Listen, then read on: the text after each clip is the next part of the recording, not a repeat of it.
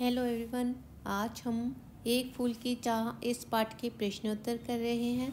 तो इसमें पहला प्रश्न है, कविता की उन पंक्तियों को लिखिए जिनमें निम्नलिखित अर्थ का बोध होता हो। अर्थ का बोध होता हो तो पंक्तियाँ जो हैं वो ये हैं, नहीं खेलना, रुकता उसका नहीं ठहरती वह पल भर। मेरा हृदय काँप उठता था, बाहर गई निहार उसे। बाहर खेलने चली जाती है और उसे देख करके यहाँ पर ये वाली पंक्तियाँ जो हैं, यहाँ पर इसका अर्थ होता है, सुखिया के बाहर जाने पर पिता का हृदय काँप उठता था। ये अर्थ जो है, इन पंक्तियों में आया है। दूसरा जो है, यहाँ देखो, पर्वत की चोटी पर स्थित मंदिर की अनुपम शोभा, ये जो है, इन पंक्तियों में आया है। ऊँचे शैल शिखर के ऊपर मंदिर था विस्तीर्ण विशाल स्वर्ण कलश सरसिज विहसित थे पाकर समुदित रवि कर जाल। इन लाइंस में मंदिर की शोभा का वर्णन हमें मिल जाएगा। उसके बाद यहाँ पर देखो, पुजारी के प्रसाद और फूल पाने पर सुखिया के पिता की मन स्थिति हमें बतानी है। तो भूल गया उसका लेना झट। परम लाभ सा पाकर में सोचा, बेटी को माँ के ये पुण्य पुष्प दे जाकरे में। जाकर के मैं ये फूल उसे दे दूँ। पिता की मन स्थिति को बताया है इन लाइन्स में, इन पंक्तियों में उसके पिताजी की मन की स्थिति को बताया है कि उनके मन में क्या भाव आ रहे थे। ये जो लाइंस हैं इसमें, लाइंस को आप याद कर सकते हो। उसके बाद देखो। पिता की वेदना और पश्चाताप जो है वो इन लाइंस में दिखाई दिया है। वेदना यानी पिताजी को जो दुख था वो पछताताप यानी पछतावा था उन्हें। उन्हें पछतावा हो रहा था। तो बुझी पड़ी थी चिता वहाँ पर, छाती दधक उठी मेरी। हाय फूलसी कोमल बच्ची हुई, राख की थी ढेरी। जब वो बच्ची मौत को प्राप्त हो जाती है महामारी के कारण तो अंतिम बार गोद में, बेटी, तुझको ले न सका मैं, हा। ए फूल माँ का प्रसाद भी तुझको दे न सका मैं, हा। तो यहाँ पर वो अपनी बेटी को नहीं देख पाने के लिए अत्यंत पश्चाताप कर रहा है और वेदना जो है यहाँ पर क्लियर आपको दिख रही है लाइंस में कि किस प्रकार से वो बेटी को नहीं देख पाने के लिए दुखी है और उसके बिना ही उसका अंतिम संस्कार कर दिया गया है। बेटी का महामारी के कारण उसकी मृत्यु हो चुकी है। बहुत ही मार्मिक कहानी है। आप ज़रूर कमेंट सेक्शन में कमेंट करके बताना कि क्या ये आपको कहानी और कविता के रूप में जो कहानी है, वह कैसी लगी?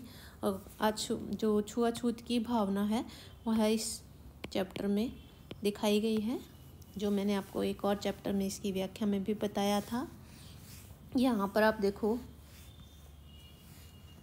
बच्ची ने क्या इच्छा प्रकट की थी? कि वह देवी माता के मंदिर के प्रसाद का एक फूल चाहती थी।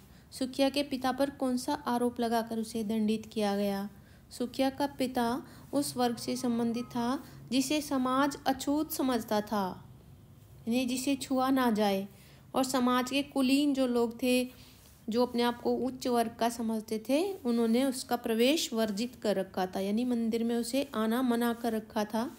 सुखिया का पिता अपनी बेटी की इच्छा पूरी करने के लिए मंदिर में गया और देवी के अपमान का आरोप लगा करके उसे सात दिन की सजा दी गई थी।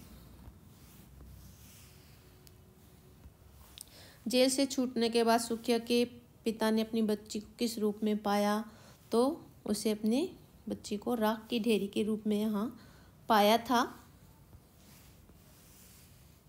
कविता का केंद्रीय भाव देखो।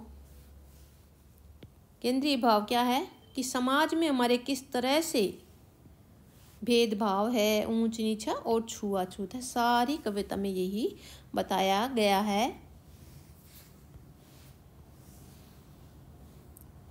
यहाँ पर देखो। इस कविता में कुछ भाषिक प्रतिबिंबों को छाट कर के लिखना है। तो यहाँ पहला जो है, कितना बड़ा तमीर, तिमिर आया। अंधकार की छाया, यह भी एक बिंब है। दूसरा, हाय फूल सी कोमल बच्ची। तीसरा, हुई राग की थी ढेरी। यहाँ पे लिखना है। और चौथा, स्वर्ण घनों में कब्र भी डूबा। इसी तरह से पांचवा झुलसी सी जाती थी आँखें। फिर हमारा प्रश्न आ जाता है, यहाँ देखो, इन पंक्तियों का आशय बताना है और अर्थ सौंदर्य बताना है। अविशांत वर्षा करके भी आँखें तनिक नहीं रहती। यहाँ पर आशय क्या है?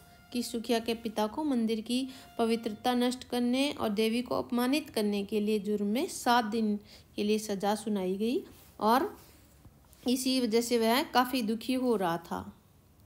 वह बहुत दुखी हो रहा था। सात दिन तक उसके, उसको सज़ा सुनाई गई थी और उसने अपना जो पूरा समय है, रोते रोते रोते भी रहा था, लेकिन फिर भी उसके दुख कम नहीं हुए थे। यहाँ पर अर्थ सुंदरी की बात कहें तो बादलों के एक दो दिन बरसने से ही उनका जल खत्म हो जाता है और वे अपना अस्तित्व खो बैठते हैं। लेकिन पिता की आँखें जो थी, सात दिन तक लगातार बरसी थी फिर भी उसकी वेदना कम नहीं हुई, उसका दुख कम नहीं हुआ। यह है यहाँ पर अर्थ सौंदर्य जो है। इसका उसके बाद देखिए, दूसरा जो है, बुझी पड़ी थी चिता वहाँ पर, धधक उठी मेरी। अब यहाँ देखो, आशय क्या है कि जब वो जेल से छूटा तो शमशान में गया, देखा तो बेटी वहाँ पर पड़ी हुई है। अर्थ सुंदरी क्या है? इसमें करुणा जो है, अर्थ में करुणा है इन पंक्तियों में। और पिता की छाती का धधकना दो मार्मिक दृश्य इस कविता में हम देख सकते हैं। और इसे पाठक जो है द्रवित द्रवित हो जाता है, दुखी हो जाता है। चाक्षुक बिंब है, यानी कि हमें पढ़ करके क्लियर वो बात समझ में आ जाती है, दिखाई देता है, जैसे हमारे सामने कोई पिक्चर होती है। फिर यहाँ देखो, हाय चुपचाप पड़ी थी, अटल शांति सी धारण कर तो इसका आशय क्या है? अपनी बेटी जो थी उसकी, वो चुपचाप पड़ी हुई थी, पहले इधर उधर खेलती रहती थी। अब बीमारी के कारण शिथिल थी। तो यहाँ पर अर्थ सौंदर्य की बात करें तो बीमारी ने उसे अशक्त बना दिया था। वो बिल्कुल शक्तिहीन हो गई थी। पापी ने मंदिर में घुसकर किया अनर्थ भारी। इसका आशय क्या है? लोगों ने पवित्रता नष्ट करने का उस पर आरोप लगाया और अर्थ सौंदर्य की बात करें तो तिरस्कार और धिक्कार की भावना को बताया है। यहाँ पर आप देखो। प्रश्न जो है, वह है, ये नोट डाउन कर सकते हो आप प्रश्न। इस प्रश्न का उत्तर, एक फूल की चाह, एक कथात्मक कविता है, इसकी कहानी को संक्षेप में लिखना है। तो यहाँ पर पूरी कहानी संक्षेप में आपको बताई है। इसे देख करके आप नोट करना और मुझे कमेंट सेक्शन में ज़रूर बताना कि किसने अपना होमवर्क पूरा किया है। आज का आपका होमवर्क ये वाला है कि आपको इस कहानी को लिख करके याद करना है और समझना भी है। देखो यहाँ, अगर आप इसको पूरा लिख लेते हो, पढ़ लेते हो ना तो फिर आपको अच्छे अंक मिलना बिल्कुल मेरी गारंटी है कि आपको अच्छे अंक मिल जाएँगे। यहाँ देखिए, बच्ची के अंतिम समय में उस, में भी उसे गोद में नहीं ले सका। उसके बाद ये प्रश्न है। यहाँ, ये देखो। बेटी पर आधारित निराला की रचना ये तो हमारे अभी पढ़ने का काम है। उसके बाद यहाँ पर